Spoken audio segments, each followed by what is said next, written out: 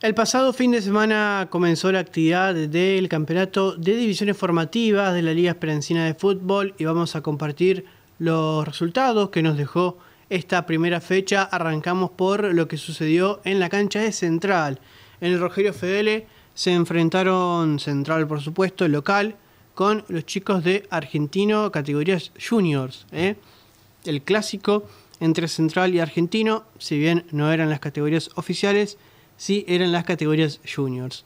El balance fue bastante parejo porque hubo tres empates, hubo una sola victoria eh, y la victoria fue para Central, pero dentro de todo fue un, balance bastante eh, eh, igualado porque como decíamos, tres empates arrancando en octava con el empate 1 a 1 con un gol de Santino Botelli para Central y de Damián Moro para Argentino. En séptima y en sexta empataron sin goles.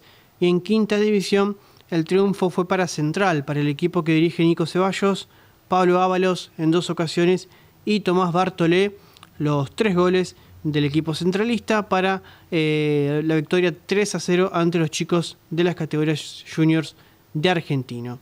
Argentino por su parte también se enfrentó eh, con sus categorías oficiales a Belgrano de Zapereira. Esto fue el día viernes por la noche, no el sábado, sino el viernes por la tarde-noche, en el estadio 12 de enero, únicamente en quinta y en sexta división, porque Belgrano de Zapereira no tiene el resto de las categorías.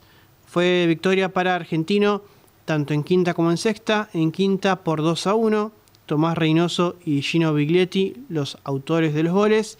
Y en sexta división, el triunfo fue por 3 a 1 con goles de Nicolás Martinelli, Thiago Kuchen y Augusto Porto para el 3 a 1 final. Eh, dos victorias para las categorías oficiales de Argentino y el clásico entre Central y Argentino con sus categorías juniors con una victoria de Central y tres empates.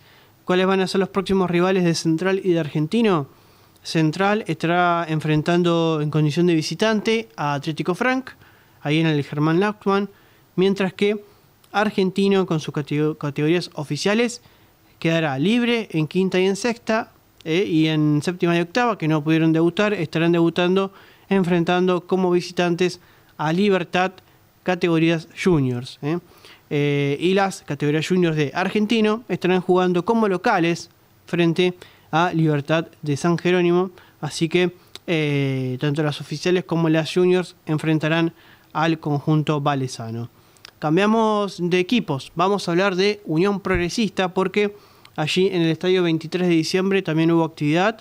Eh, el D porque ha tenido un gran año 2023, parece que este año 2024 va a ir por la misma vía, por la misma senda.